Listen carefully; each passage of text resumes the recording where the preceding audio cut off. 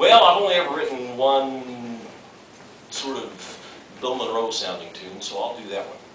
Or do you want to hear a bluegrassy banjo sounding tune? Pull, pull off. You want to hear that one? Okay. Please. This is a, a tune that I wrote a long time ago, and uh, it, it has the curious thing of being named after a banjo left-hand technique that barely ever happens in the song.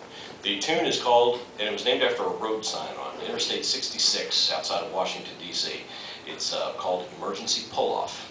But there's plenty of slides and chokes and hammer-ons, nary a pull-off to be found. I'll see if I can squeeze one in. And here's how it goes. A one, two, why do I count them off? Yeah, you all don't.